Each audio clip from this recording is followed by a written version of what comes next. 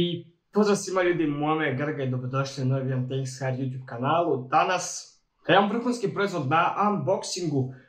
prije svega veliko hvala Fractal Design i Microline Hrvatskoj, odnosno njihovom distributeru za Hrvatsku, što su nam omogućili unboxing i testiranje ovog proizvoda. Inače riječ je o Fractal Design Ion Plus seriji napajanja 660 W i idemo inače ova kutija je poprilično teška i poprilično je lijepog dizajna, onako kao što smo već navikli od fraktala. Pa ću ja to otvoriti.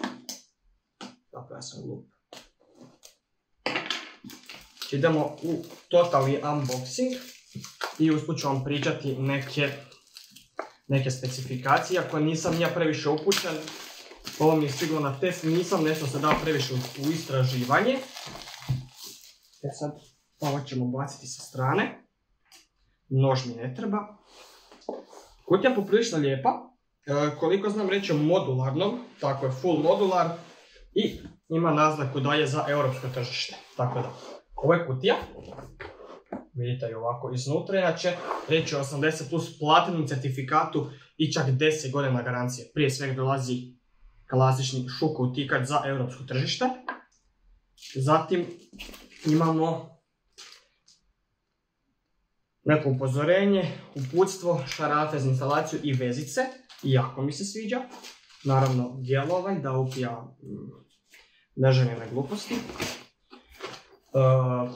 vrećica ovaj kao neseser za...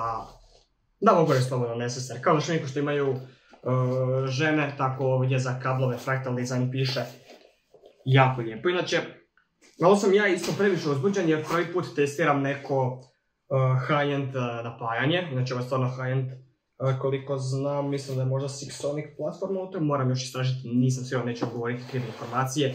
Detaljnije će vam sve naravno biti u recenziji na portalu i na YouTube kanalu. I samo napajanje koje je malog formata, ali je poprilično teško.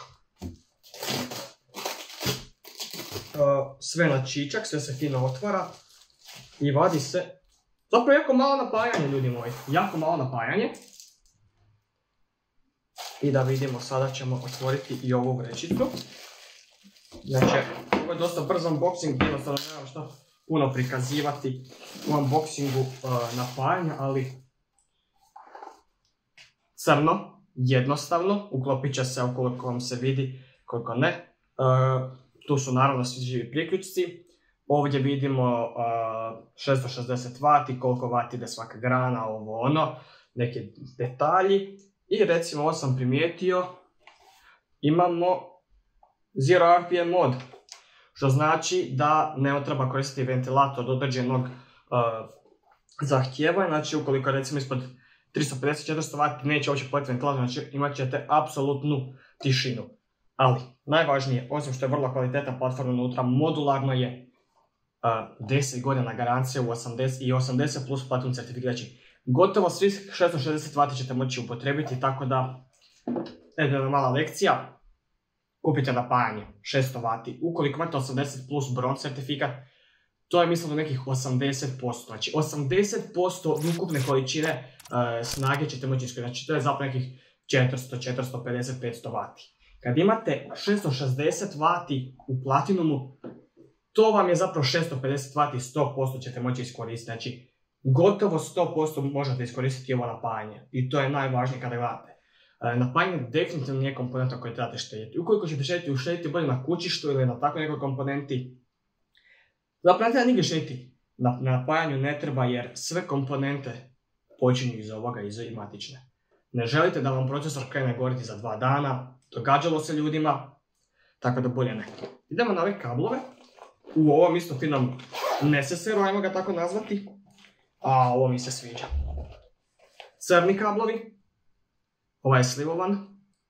Nisam siguran, nisu svi, nisu svi slivovani, ali su crni i to je najvažnije. Ne volim kada su mi previše šareni, jer onda moram naručivati cable mod, a cable mod nije baš jeftin, a mixer kablovi se ne dostavljaju u Hrvatsku, nažalost, koliko ja znam. Uh,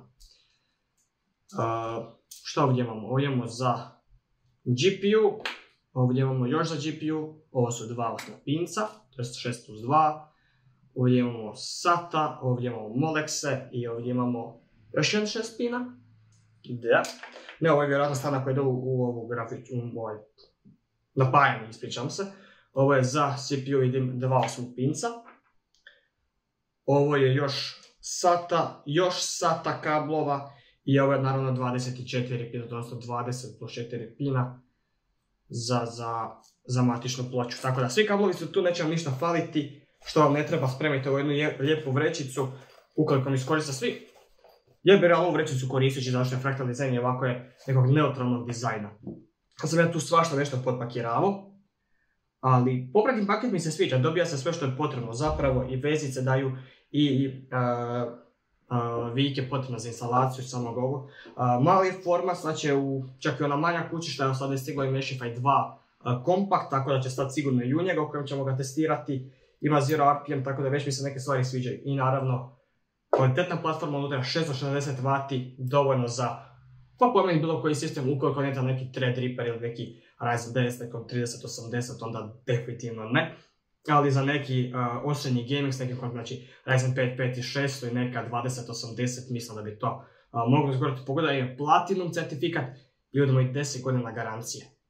Znači, vi i vaša djeca možete ovo koristiti bez ikakvih problema, jer ono, 10 godina garancije, znate onda o kakvom kvalitetnom proizvodu je riječ. Jer kad, daj, kad proizvodiš 2-3 godine garancije, to je onako meh.